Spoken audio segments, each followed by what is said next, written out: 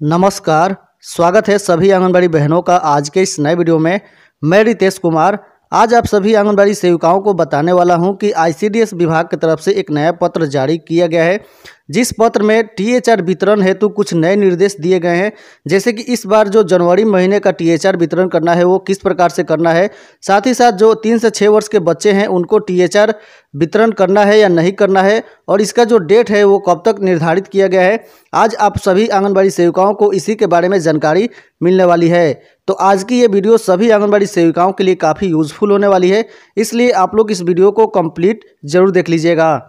इस वीडियो में आगे बढ़ने से पहले आप सभी से एक छोटी सी रिक्वेस्ट है कि आपने इस वीडियो को लाइक नहीं किया है इस वीडियो को ज़्यादा से ज़्यादा आप लोग लाइक कीजिए ताकि हमें मोटिवेट मिले और हम आपके लिए इस प्रकार से नई नई वीडियोज़ लेके आते रहें। और जिन आंगनबाड़ी सेविकाओं ने अभी तक इस चैनल को सब्सक्राइब नहीं किया है, वो हमारे इस चैनल को सब्सक्राइब करके घंटी के बेल नोटिफिकेशन दबाने के बाद ऑल का बटन ज़रूर सेलेक्ट कर लें, ताकि जब भी हम इस प्रकार से नई नई वीडियोज़ लेके आएँ, सबसे पहले आपको उसका नोटिफिकेशन मिल जाए। तो चलिए शुरू करते हैं आज की ये वीडियो। जैसे कि आप यहाँ पे देख पा रहे होंगे कि बिहार सरकार आईसीडीएस विभाग की तरफ़ से इस पत्र को जारी किया गया है। इस पत्र का जो तिथि दिया गया है वो चौदह एक 2022 यानी कल शाम को ही इस लेटर को जारी किया गया है। इसकी संचिका संख्या आप यहाँ पे देख पाएँगे, एक सौ बयासी। इस लेटर को जारी करने वाले हैं निदेशक आईसीडीएस और सभी जिला प्रोग्राम पदाधिकारी, सभी बाल विकास परियोजना पदाधिकारी को ये लेटर जारी किया गया है। यानी पूरे बिहार में ये सामान्य रूप से लागू होने वाली है। तो देखिए, आप लोग इस लेटर का जो विषय देखेंगे, इससे आप लोगों को यहाँ पे थोड़ी सी जानकारी मिल जाएगी कि इस महीने किस प्रकार से जो टीएचआर है वो वितरण होने वाले हैं। देख सकते हैं कि आंगनबाड़ी केंद्रों पर माह जनवरी 2022 का टेक होम राशन का वितरण टोकन प्रणाली के माध्यम से करने के संबंध में। तो इस बार भी जनवरी मंथ में भी आपको टोकन प्रणाली के माध्यम से ही टीएचआर वितरण करने हैं। और इस वीडियो में आपको नीचे बताने वाले हैं कि कब से कब तक आपको टोकन सत्यापन करके टीएचआर वितरण कर देना है। वीडियो आप सभी आंगनबाड़ी सेविकाओं को पसंद आए तो इस वीडियो को लाइक करते रहिएगा। चलिए बढ़ते हैं आगे। यहाँ पे देख सकते हैं महाशय उपयुक्त विषय के संबंध में कहना है कि राज्य के सभी आंगनबाड़ी केंद्रों पर टोकन प्रणाली के माध्यम से वितरण किया जा रहा है।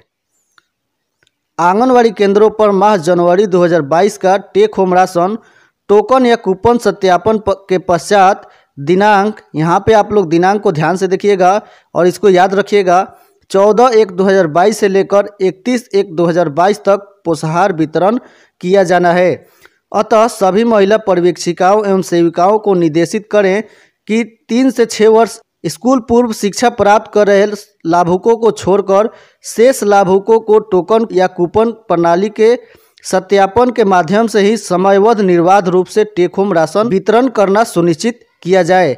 यानी कि इस बार भी आपको तीन से छः वर्ष के जो बच्चे हैं, उनका टोकन सत्यापन नहीं करना है और उनको टीएचआर वितरण नहीं करना है। यानी पिछले मंथ भी हम लोगों ने तीन से छः वर्ष के बच्चों का टोकन सत्यापन नहीं किया था। इस माह को टोकन सत्यापन तीन से छः वर्ष के बच्चों का नहीं करना है। तो इस प्रकार से आप लोग देख सकते हैं कि आईसीडीएस विभाग की तरफ़ से जनवरी मंथ में किस प्रकार से टीएचआर वितरण करना है, उसके लिए यहाँ पे पत्र जारी हो चुका है। यानी कहने का मतलब है कि 14 एक 2022 से लेकर 31 एक 2022 तक, यानी कल से ही ये जो टीएचआर वितरण करना है, वो कूपन या टोकन सत्यापन करने के पश्चात ही आपको इस महीने का राशन वितरण करना है। तो उम्मीद करता हूँ कि आप सभी आंगनबाड़ी बहनों को मालूम चल गया होगा कि जनवरी महीने में किस प्रकार से टीएचआर वितरण करना है। तो आज के इस वीडियो में फ़िलहाल इतना ही। आप सभी आंगनबाड़ी बहनों को ये वीडियो कैसा लगा? वीडियो पसंद आया हो तो इस वीडियो को लाइक करें, चैनल को सब्सक्राइब करें एंड इस वीडियो को ज़्यादा से ज़्यादा शेयर करें। तो मिलते हैं फिर किसी नए टॉपिक नई जानकारी के साथ। तब तक के लिए आप सभी का वीडियो देखने के लिए बहुत बहुत धन्यवाद। जय हिंद।